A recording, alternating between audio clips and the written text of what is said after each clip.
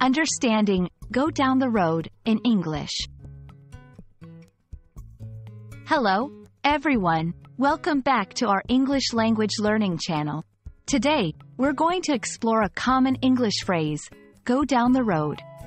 This phrase is used frequently in everyday English, and understanding its meanings and usage can really help you in mastering the language.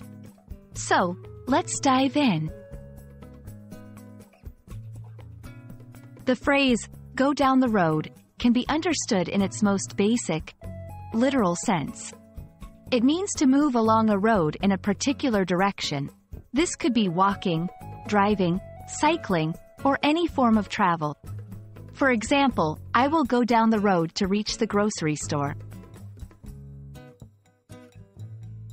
Interestingly, go down the road can also have a figurative meaning.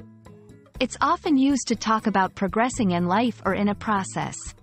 For instance, when someone says, we're going down the road of digital transformation, it implies that they are progressing in the journey of transforming something digitally. In everyday conversation, the phrase can take on additional nuances based on the context.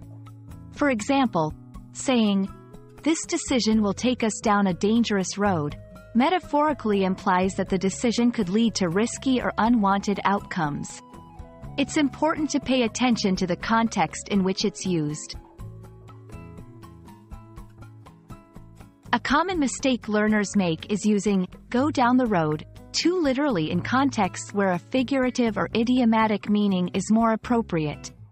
Remember, understanding the tone and context of the conversation can help you decide how to interpret and use this phrase correctly. Thank you for watching. We hope this video has helped clarify the phrase, go down the road, and its various uses in English. Remember, Practicing these phrases in different contexts is key to mastering their usage. See you in our next video, and keep learning.